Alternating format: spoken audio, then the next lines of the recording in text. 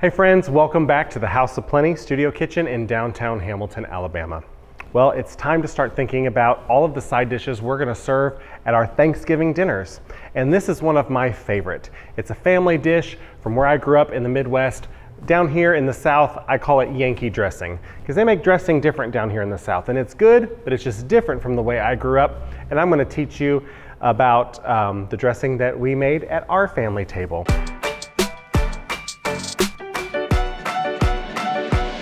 So we've started with about eight cups of torn bread that you let get stale overnight. You can use French bread, sandwich bread, whatever kind of bread you have. And you just tear it up and put it in a bowl, cover it with a towel, let it get stale for a day or two. If you don't have that kind of time, I didn't have that kind of time today, so I just tore it up and put it on a baking sheet and cook it low for about 30, 40 minutes in the oven until it gets a little brown and crispy like this. And we're just gonna set that aside. Now the ingredients in our dressing are onion, celery, and apples. We're gonna put apples in our dressing. You can leave them out if you don't like that little bit of a sweet bite in your dressing, but we're gonna put some chopped apples. And also we're using some pork sausage.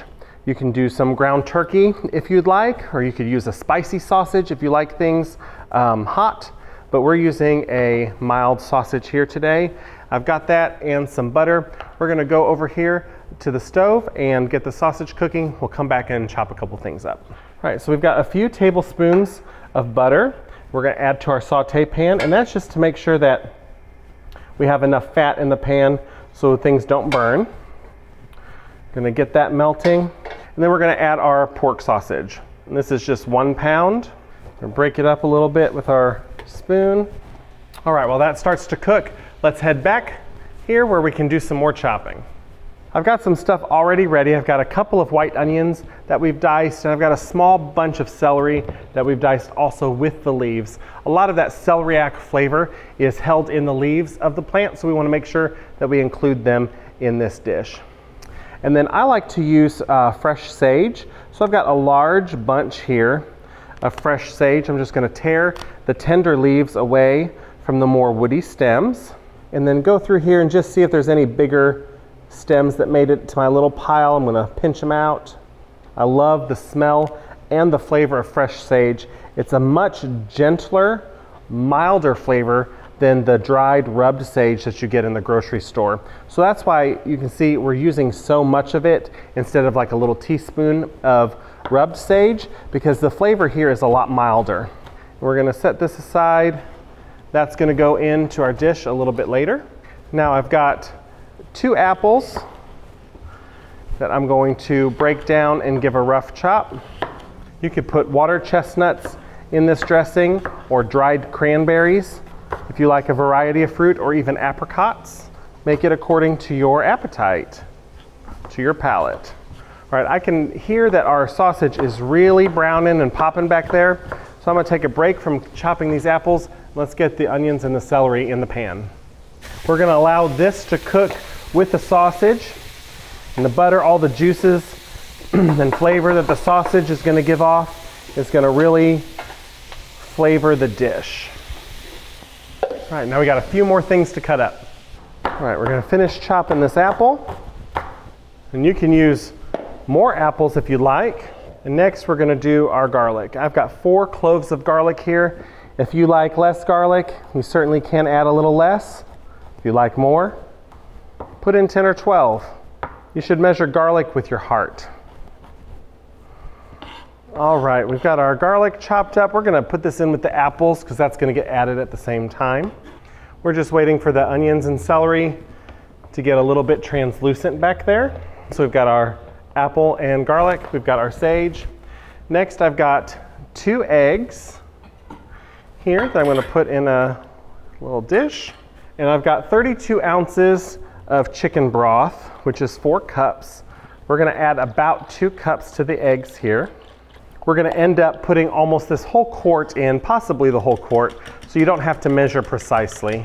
Just put about half of that in here and mix up these eggs. That's just gonna make incorporating them a little easier later on. And let's go back to the stove. So we're back to our saute pan and our sausage and our onions and celery are cooking here. We've got about six to eight minutes until the onions and celery soften and become translucent. I'm just gonna season this with a few heavy pinches of kosher salt. Got some black pepper. And we're just gonna let this go until the vegetables are translucent. All right, so our sausage is fully cooked. Our celery and onions are starting to get translucent. They're nearly fully cooked. Now's the time we're gonna add our apple and our garlic. Just gonna add that right to the pot. If you notice that things are starting to stick and they're not, they're not wanting to scrape up from the bottom of your pan, you can add a couple little knobs of butter or you could add a few splashes of chicken stock to give yourself some moisture in there and help uh, get things up off the bottom of the pan. And we're just looking for these apples to soften and the garlic to get fragrant about two to three minutes more. So it's been a few minutes. The apples are starting to soften and the garlic is really fragrant. We can smell it. I'm gonna add that fresh sage, cook it for one to two minutes more, and then we'll go back to the island and finish our dressing. All right. We've got our cooked sausage mixture here. It smells deliciously savory and fragrant.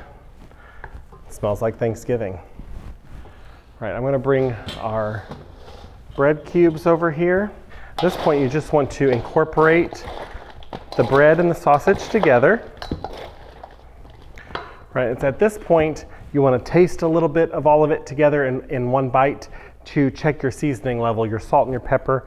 Make sure that it's well seasoned because uh, we're about to put some raw egg in there. So this is the moment we want to do that. This is pretty good. Now keep in mind that this is full of bread. The bread's going to absorb a lot and we're adding some chicken stock. So I'm going to add a little bit more salt just to make sure that the flavor punches through. And now we've got those two egg yolks that we whipped with a few cups of the chicken stock.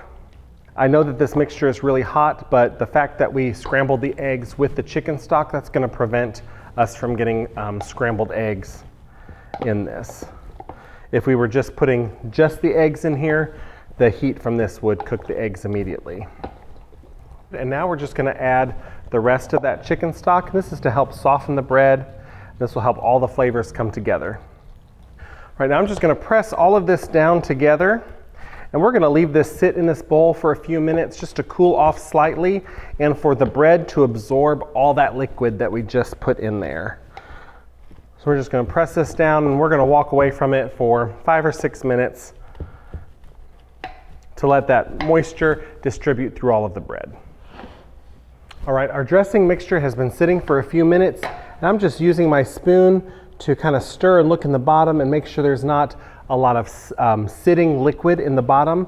And that's how you're gonna know that the bread has absorbed most of it. There, you can see a little bit of it down there, but you just don't wanna see like a big pool of sitting liquid. So this bread has absorbed just about all it's going to.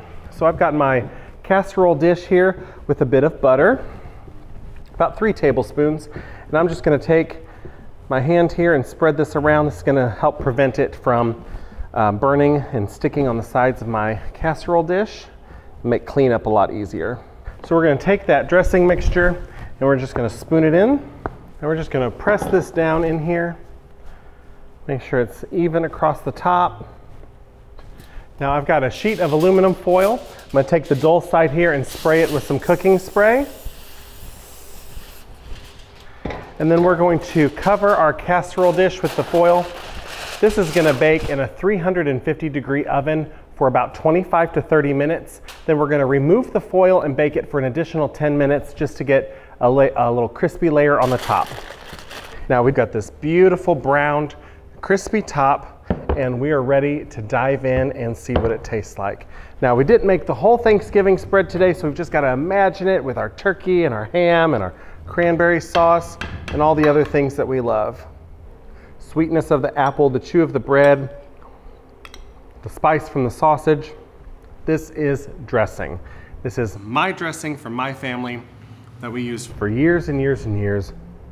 Down here in the South, you might call it Yankee dressing, but whatever you call it, you should make it for your Thanksgiving table. So that's the Yankee dressing in a nutshell. It's very easy. There's a lot of steps, but they're all simple steps, and you can do it too. And if you do make it, would you let us know about it in the comments and tag us in your pictures on Instagram at Our House of Plenty. We want to cook along with you. If you enjoyed this video, won't you like and subscribe to our channel and share it with a friend? The recipe for this dish and several others to help make your Thanksgiving a reality is linked in the description below. Thank you for joining us today at the House of Plenty. We hope to see you soon.